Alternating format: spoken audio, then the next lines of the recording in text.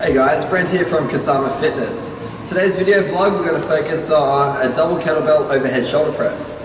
Okay, before we start there's a few things I'm going to explain and that's the body's alignment through the movement.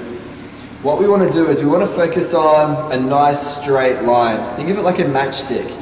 If there's a weak link in the matchstick, you can snap it. I want you to think about that with the body as well. So hand goes up, from there your hand is positioned over your shoulder, shoulder over the hip, hip over the knee, knee over the ankle. That way your body's nice and straight.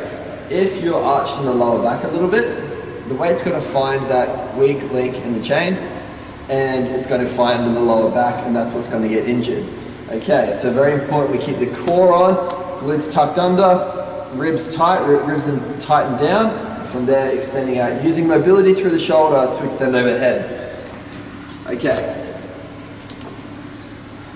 First of all, we take the kettlebells into double rack position. If you're unsure about the rack position, just go see one of our early videos where we explain all about holding the kettlebells in the rack position. From here, lock in tight, and then we're going to extend up overhead. So squeeze, brace your glutes and core, and then straight up. Okay, what that looks side on is from here, double rack position, brace, and push. Okay, what you don't want to do is when you're pressing the when you're pressing the weight, you don't want to lift the chest. So what we want to avoid is pressing the weight and lifting the chest too much. When you lift the chest, you're going to arch your back and then the weight's going to find the lower back and that's where the weight's going to jam into.